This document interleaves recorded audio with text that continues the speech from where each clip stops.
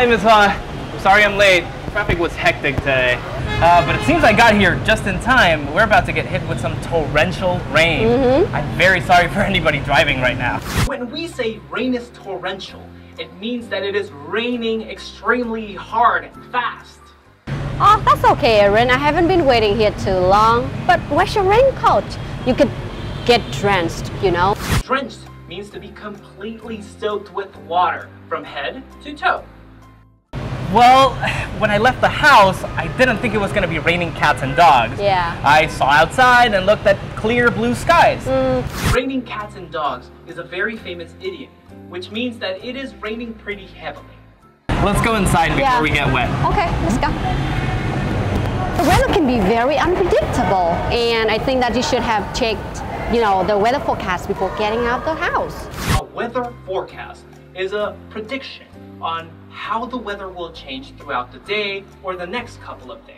I know, but I got very confident because of the lovely weather we've been having for, for the past couple of days. Yeah. But I guess it was just a sunny spell. Oh, Uh, but now outside, Yeah. everything looks gloomy. Two terms to learn here.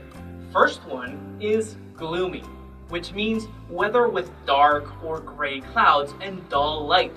And the second one is a sunny spell, which are short moments of sunny weather. You can also say a rainy spell, a windy spell, etc. yeah, and uh, I wish the nice weather could have, you know, lasted a little longer. Yes, me too. But too much sun isn't fun either.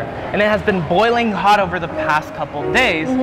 So it would make sense that it would rain heavily now, right?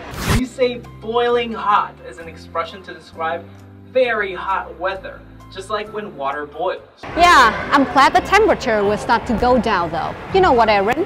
One of my students ended up with a heat stroke last week Wow. after playing soccer too long. We call a heat stroke when someone becomes sick from being too long in hot weather or under the sun.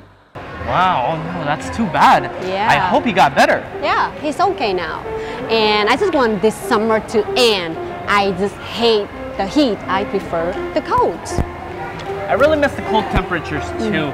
Uh, the city gets chilly and it feels just great to like ride in the breeze. Yeah. I guess I'm just not a fan of cold in general. Chilly is a word used to describe when it's just a little bit cold. Oh, there's a movie theater, Aaron. Let's go. We're running late. Okay. Thank you for watching. We hope you learned some new vocabulary to add to your speech.